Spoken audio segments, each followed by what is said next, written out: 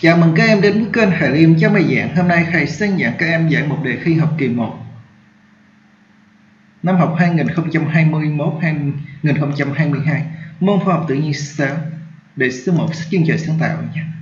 Trong lúc xem bài giảng của Hải Liêm. Liên quan khoai quảng cáo, các xem hết quảng cáo giúp Hải Liêm. Để thầy có thêm kinh phí làm nhiều bài giảng. Các em xem nha. Giờ mình sẽ vào bài giảng hôm nay. Đề bài sẽ có hai phần, phần trắc nghiệm và phần tự luận. Mình sẽ làm phần trắc nghiệm trước nhé. Giờ hãy chọn phương án trả lời đúng và quyết uh, chữ cái đứng trước phương án đó và bài làm. Ở đây thầy sẽ phân tròn vô à, trong đây nha. Còn khi mình làm thì mình sẽ có một cái tờ giấy riêng để mình sẽ viết chữ cái tương ứng vào đúng này. Giờ như vậy có số 1 lĩnh vực nào sau đây không thuộc về lĩnh vực của khoa học tự nhiên? Như vậy mình sẽ có là sinh học lịch sử thiên văn và địa chất thì theo em khoa học tự nhiên sẽ không à, lĩnh vực nào sẽ không thuộc về khoa học tự nhiên mình thấy là khoa học tự nhiên thì mình sẽ học có sinh học liên quan và địa chất đúng đúng không? Chỉ có là mình không có học lịch sử thôi. Lịch sử nó sẽ nằm ở à, cái môn học gì? như vậy ở đây câu số 1 mình sẽ chọn đáp án B, lịch sử, thì nó sẽ nằm ở một viên. Môn viên chính là môn lịch sử, chứ không thuộc về khoa học tự nhiên nhé Giờ tiếp theo là câu số 2 Đo chiều dài của chiếc bút chì theo cách nào sau đây là hợp lý nhất? Như giờ mình quan sát vô là mình cũng biết vậy đó nè Khi mình muốn đo được chiều dài của cây bút chì thì mình sẽ kê cây bút chì dọc theo cây à, cây thước. Và số 0 thì nó sẽ đụng cái đầu của cây bút chì. Như mình thấy là ở cái bán B là chính xác nhất đúng không? Thì cái số 0 nó phải đụng ngay cái một đầu của bút chì thì mình muốn đo mới đi chính xác được. Như vậy là câu số 2 mình cũng chọn đáp án B nhé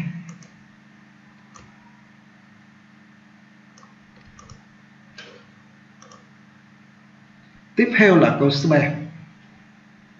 Phát biểu nào sau đây là không đúng về khí oxy?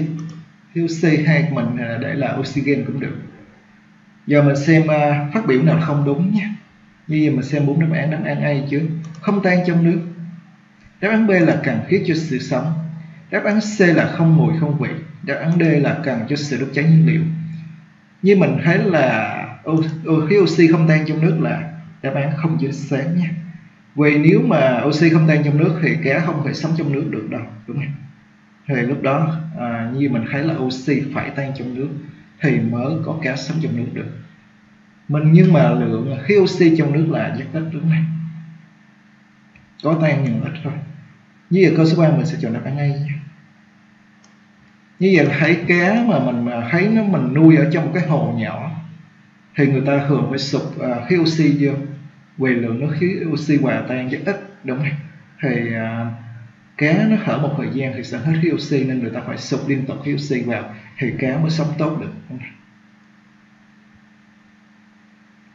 tiếp theo là câu số 4 cho các hiện tượng sau à, đun nóng đường thấy đường chuyển sang màu vàng nâu Số 2 là tiết tan, số 3 là kim chảy lỏng. Khi để ngoài chờ và cơm để lâu sẽ bị mất. Như vậy là số các hiện tượng mô tả tính chất hóa học của, của chất là gì? Mình nhớ tính chất hóa học của một chất có nghĩa là biến đổi từ chất này sang cho một chất khác thì gọi là sự biến đổi tính chất hóa học nha. Đúng không?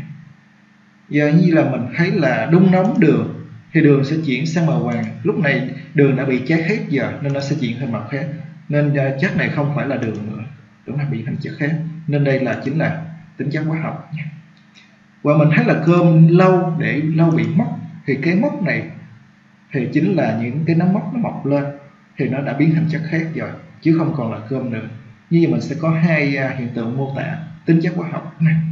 Như vậy chính là đáp án B. Như vậy câu số 4 mình sẽ chọn đáp án B nhé.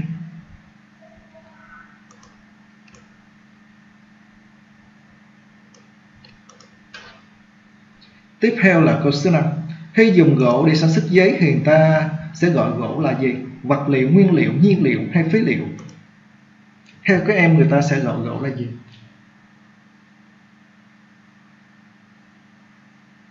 Người ta gọi gỗ sẽ là nguyên liệu Có nghĩa là gỗ người ta sẽ chế biến thành à, chất khác biết sản xuất thành giấy thì gỗ gọi là nguyên liệu nha còn vật liệu có nghĩa là ví dụ như là vật liệu xây dựng có nghĩa là đất đá thì người ta đất đá người ta sử dụng luôn mà người ta không biến thành chất khác còn gỗ người ta sẽ xem sức hình giấy thì gỗ gọi là nguyên liệu nha. Như vậy câu số 5 mình sẽ chọn đáp án B. Còn nhiên liệu thì mình thấy là có nhiên liệu xăng dầu này kia khí đốt này kia mới gọi là nhiên liệu nhé còn phế liệu có nghĩa là à, ví dụ như là những cái chai lọ nhựa mình không sử dụng nữa thì mình bỏ đi người ta tái chế lại thì gọi là phế liệu nhé đúng không?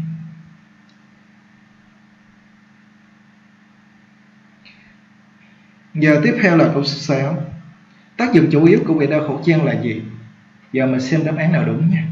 A là tách hơi nước ra khỏi không khí hít vào. Như vậy là tách hơi nước thì khẩu trang đâu có hít tách được đúng nào? Còn là sai. Tách khí oxy ra khỏi không khí. Không có tách được ra khẩu trang là giống như là à, nó có tại bằng vải đúng không hoặc là bằng à, chất liệu gì đó. Thì không có tách được đúng không à, tách khí carbonic mình thấy à, tách bụi thì được đúng không? Khẩu trang thì có thể tách bụi thôi chứ không thể tách khí oxy. Khí carbon dioxide tách hơi nước được nó chỉ có thể tách bụi ra khỏi không khí hít quạt đúng không? Như vậy ở đây mình sẽ chọn đáp án là D nha đúng không? Và nếu mình sẽ đeo khẩu trang mà loại à, có khẩu trang là, là kháng vi khuẩn có nghĩa là nó sẽ tiêu diệt được vi khuẩn. Khi khẩu chưa khi có vi khuẩn bám vào bề mặt của cái khẩu trang hoặc là mình thấy là ở đây à, bây giờ người ta đã chế tạo ra được cái khẩu trang diệt virus. Có nghĩa là khi mà con virus nó bám vào bề mặt của khẩu trang thì nó sẽ bị tiêu diệt, đúng không? Còn bình thường khẩu trang à, vải bình thường, khẩu trang y tế bình thường thì nó chỉ có thể là tách bụi ra khỏi không khí, đúng không? Giờ như vậy là mình xong câu số 6 mình sẽ qua tiếp câu số 7 câu số 7 từ một tế bào chuyển hành tiến hành phân chia ba lần sẽ tạo thành số tế bào con là bao nhiêu? Mình thấy là mỗi lần à, phân chia thì sẽ tách thành 2. như vậy một sau một lần sẽ thành 2. thêm một lần nữa thành 4 thêm một lần nữa thành 8 như vậy có nghĩa là sau 3 lần sẽ thành 8 tế bào con của này như vậy là câu số 7 mình sẽ chọn đáp án D nhé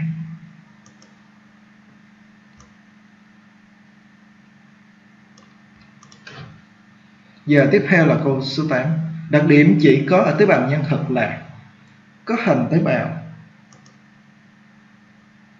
Có chất tế bào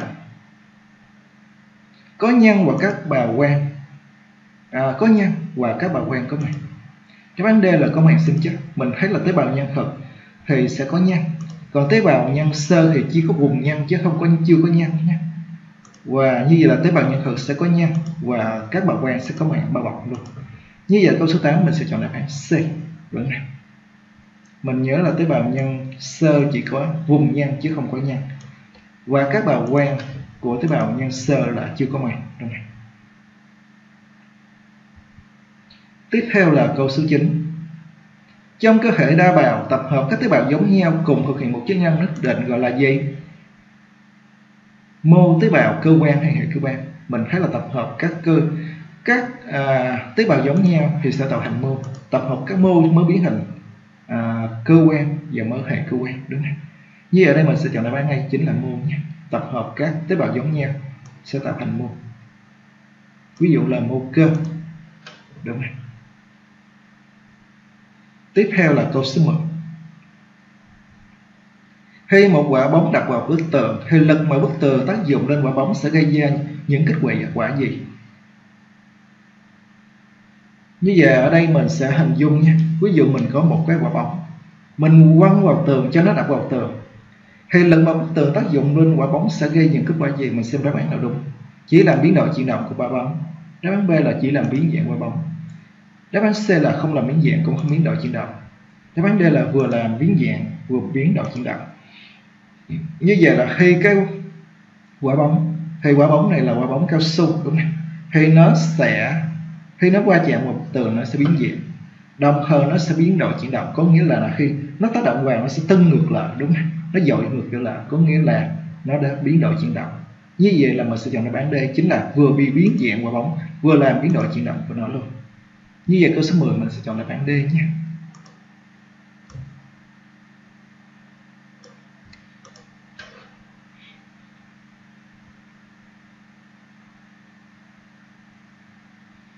Giờ tiếp theo là câu 11. Các bạn phân loại sinh học từ thấp đến cao theo trình tự nào sau đây?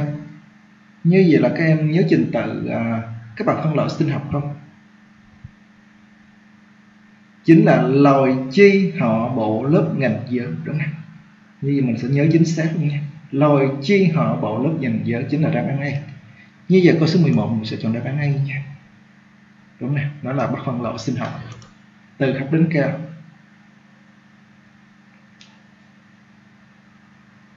tiếp theo là câu số 12 Câu số 12 lấy uh, ngón tay cái và ngón tay trỏ ép hai đầu của lò xo lại. Nhận xét nào sau đây là đúng? Như vậy là ở đây mình hình dung mình có một cái lò xo. Mình sử dụng một cái ngón tay trái, một ngón tay cái và một ngón tay trỏ mình ép hai đầu lò xo lại. Lúc này chuyện gì xảy ra? Mình sẽ nhận xét sau đây nào đúng nha. Đáp án hay là lực mà ngón cái tác dụng lên lò xo và lực mà lò xo tác dụng lên ngón cái là hai lực cân bằng.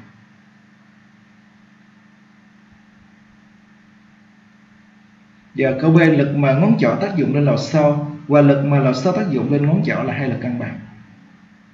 Đáp án C là hai lực mà hai ngón tay tác dụng lên lò xo là hai lực cân bằng. Và đáp án D, lực mà lò xo tác dụng lên ngón cái và lực mà ngón trỏ tác dụng lên lò xo là hai lực cân bằng. Như vậy ở đây mình sẽ chọn đáp án D, đúng này. Như vậy là mình sử dụng hai ngón tay mình ép lại. Mình thấy là lò xo đứng yên là do hai cái lực này cân bằng. Lực mà lò xo tác dụng lên ngón cái và lực mà ngón tay chọn tác dụng lên lò xo là hai lực cân bằng. nhé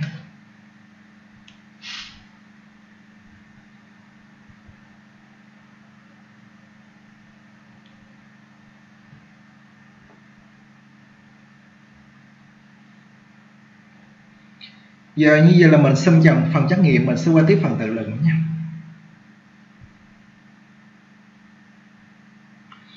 Giờ phần 2 là mã phần tự luận câu số 13 cho hình ảnh sau đây. Như ở đây mình thấy là hình bên đây là một cái ly nước, nước tinh khiết. Nước tinh khiết là nước à, chỉ có nước mà thôi, không chứa các vi chất à, khác, đúng không? Không chứa các vi chất thiết yếu cho cơ thể, có nghĩa là không chứa chất gì hết, chỉ có nước mà thôi. Thì nước ờ, công thức hóa học của nước chính là kháng heo còn nước phán thì ngoài nước thì nó sẽ chứa nhiều quy chất thiết yếu cho cơ thể, đặc biệt là bốn nguyên tố chính là natri, kali, canxi và magie. Giờ như vậy là theo em nước tinh khiết và nước khoáng thì ở khởi nào? Thì mình thấy là đều là khởi lập hết. Nước tinh khiết là nước chỉ có nước thôi, nên gọi là chất chứ không gọi là hỗn hợp. Mình nhớ hỗn hợp có nghĩa là nhiều chất trong đó. Câu C là tính chất của nước khoáng có thể thay đổi hay không? Tại sao? Mình thấy là nước khoáng có nhiều chất bên đó.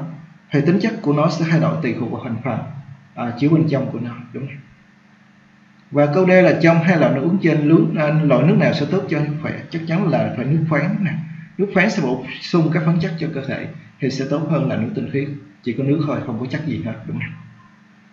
Giờ như là thầy sẽ bốn à, trả lời bốn câu hỏi này luôn. Bốn câu hỏi này cũng đơn giản đúng không? Giờ như giờ câu 13 các em trả lời như sau nhé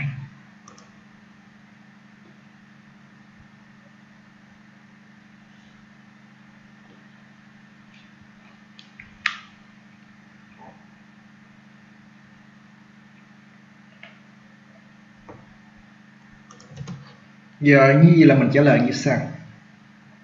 Nước tinh khiết và nước khoáng ở khe lạnh nước tinh khiết là nước không có lạnh chất khác nên đó gọi là chất. Nước khoáng là hỗn hợp nên tính chất của nước khoáng có thể thay đổi tùy thuộc vào thành phần các chất có trong nước khoáng. À, mình thấy là uống nước khoáng sẽ tốt hơn vì nó bổ sung khoáng chất cho cơ thể mình đúng không giờ như là mình xong câu số 13 mình sẽ qua tiếp câu số 14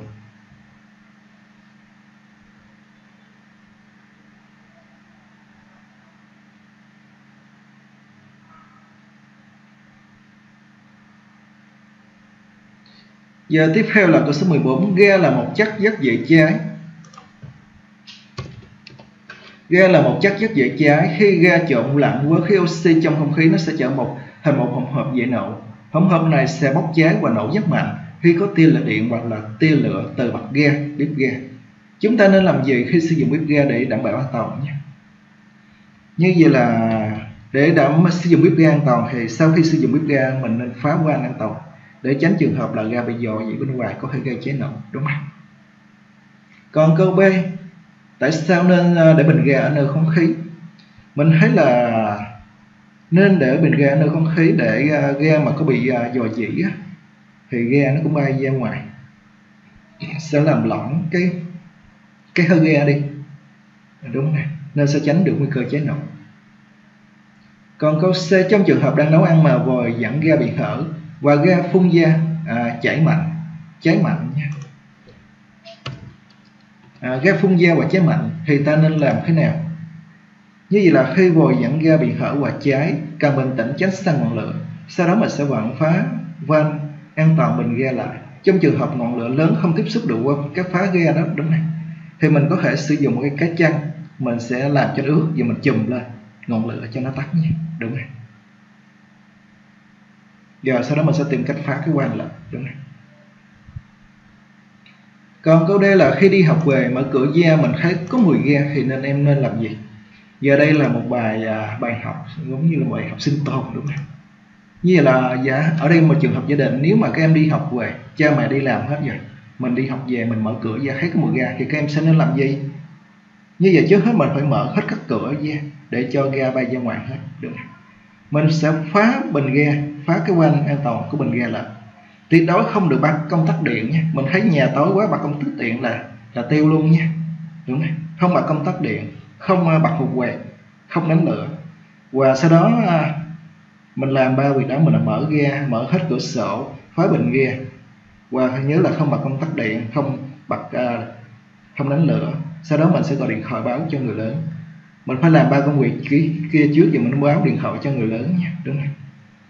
Giờ thầy sẽ trả lời câu hỏi số 14 nhé như vậy mình sẽ trả lời câu số 14 các em trả lời như sau.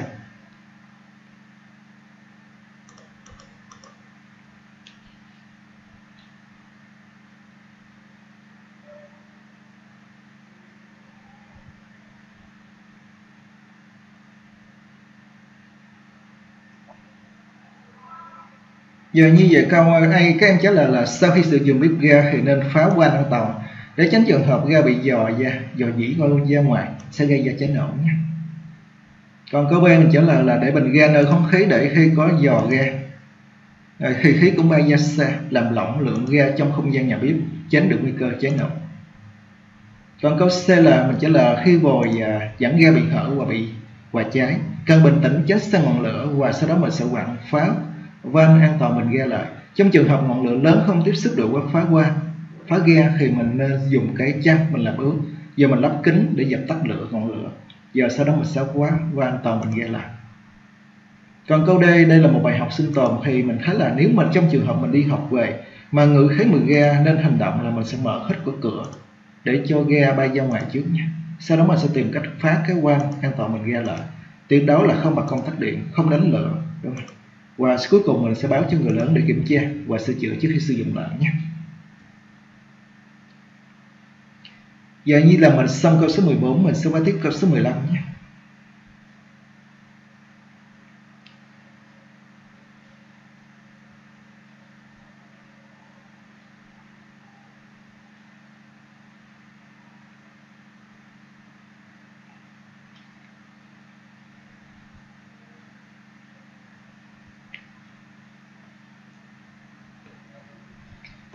Giờ tiếp theo là câu số 15 Một con bò đang ngậm cỏ. Bỗng nghe thấy tiếng động mạnh lập tức ngừng ăn Thấy tiếng động lớn hơn nó vụt chạy nhanh chóng. Như là câu anh người ta hỏi là con bò đang thể hiện những dấu hiệu nào của sự sống. Và câu B mình sẽ viết tên và mô tả mỗi dấu hiệu đó luôn. Như vậy là ở trong câu chuyện con bò đang ngậm cỏ này Thì mình thấy có một bò, một con bò đang ngậm cỏ. Thì bỗng nghe tiếng động mạnh nó lập tức ngừng ăn để nó quan sát xem tiếng động phát ra từ đâu, đúng không? Giờ nếu mà sau đó khi tiếng động lớn hơn thì nó sẽ buộc chạy nhanh chóng. Như vậy con bò đang thể hiện dư những dấu hiệu nào của sống sống trước hết là nó dinh dưỡng. Như vậy con bò đang ngầm cỏ để nó có chất dinh dưỡng, đúng không? Và trong khi ăn nó cũng phải hô hấp. Như vậy là ờ, những dấu hiệu chính là hô hấp. Con bò đang hít và thở khở, yeah. và dấu hiệu cảm ứng khi nghe tiếng động nó lập tức ngừng ăn và dấu hiệu di chuyển, con bò buộc chạy nhanh chóng, đúng không? Giờ hãy sẽ trả lời câu hỏi số 15 giờ như là câu số 15 các em trả lời như sau.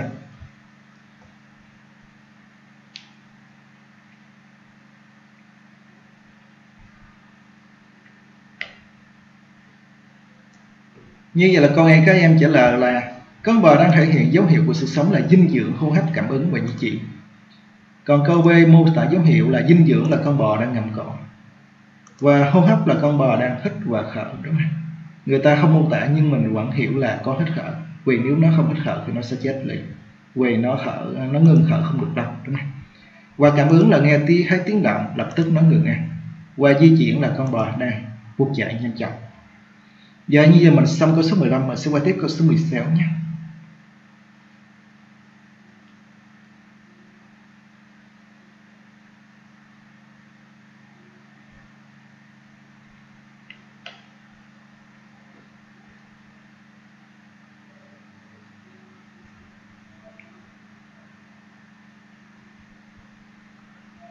Giờ tiếp theo là câu số 16 quan sát những hình dưới đây gọi tên sinh hoạt và cho biết sinh hoạt đó thuộc giới nào nhé. Giờ bây giờ mình sẽ quan sát hình. Thì hình đầu tiên chính là vi khuẩn thì vi khuẩn sẽ thuộc giới khởi sinh. Đúng không? Giờ tiếp theo mình có con gà, con ong.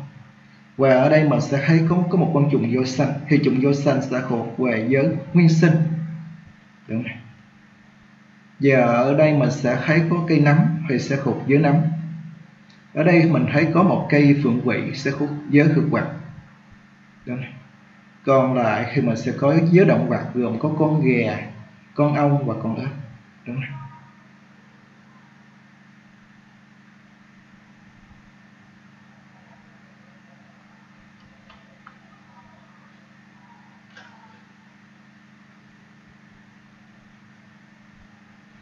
Giờ ở đây mình thấy là cọ ở đây là giống như là diêu diêu hoặc là cọ đúng không giờ bây giờ câu B thì người ta kêu nêu, nêu các thành phần cấu tạo của tế bào tại sao nói tế bào là đơn vị cơ bản của sự sống? Như là cấu tạo của tế bào mình thấy là gồm có ba thành phần là màng sinh chất màng tế bào chất và nhân. Màng sinh chất à, tế bào chất và nhân. Tế bào là đơn vị cơ bản của sự sống vì tất cả sinh vật đều được cấu tạo từ tế bào. Tế bào thực hiện đầy đủ các quá trình à, cơ, sống cơ bản. Sau đó, đúng này. Như mình thấy là những sinh vật đơn giản thì sẽ có cấu tạo chỉ một tế bào. Còn những sinh vật mà đa tế bào thì sẽ nó sẽ phức tạp hơn, đúng không? Và mình nhớ là con virus là chưa phải là cơ thể sống hoàn chỉnh vì nó chưa có phải là tế bào, đúng không? Giờ hãy trả lời câu hỏi này nhé. Giờ trước hết là gọi tên thì mình gọi tên là vi khuẩn con gà con ong. Chung voi xanh chiêu à, con ếch cây phượng vĩ và nấm rơm.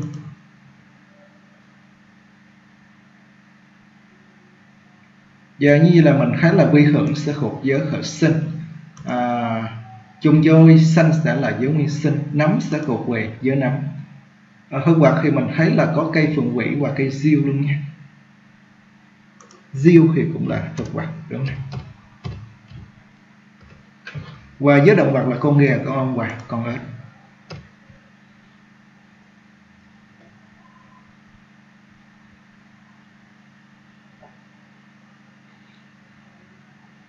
Giờ tiếp theo là câu B mình trả lời như sau.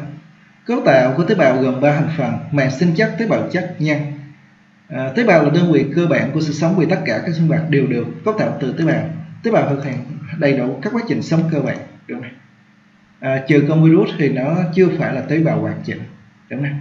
nó chỉ có cái à, cái cái ADN có nghĩa là cái ADN ở giữa bằng ARN ở giữa thì mình sẽ có một cái vỏ protein đúng không?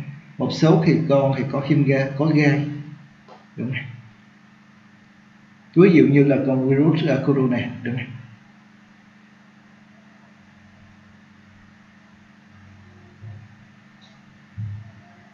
Giờ như là mình xong câu số 16 mình sẽ qua tiếp câu số 17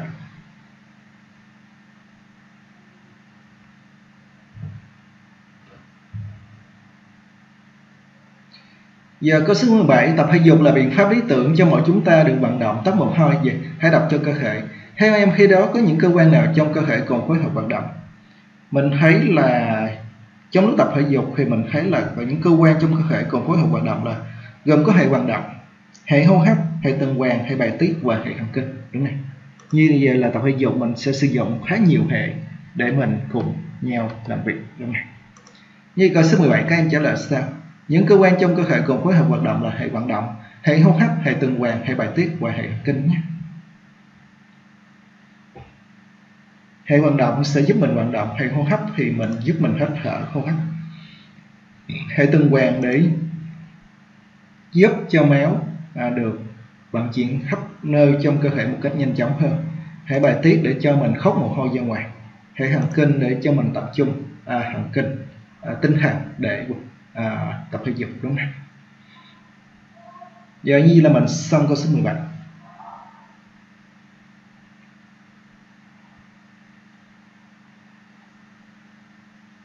Giờ như là mình xong bài giảng. Hôm nay nếu các em thấy thì dạng gì thì bấm thích chia sẻ cho bạn bè cùng xem. Và em nào chưa đăng ký kênh Hải Liêm, bấm nút đăng ký, bấm chuông để xem bài giảng mới nhất của Hải Liêm nha. Như vậy là các em có thể chia sẻ video này với bạn bè cùng lớp với mình nha. Và bạn bè hàng xóm với mình nữa. Giờ nhiều bạn xem cảm vui đúng không hãy chúc các em học tốt tạm biệt các em nha.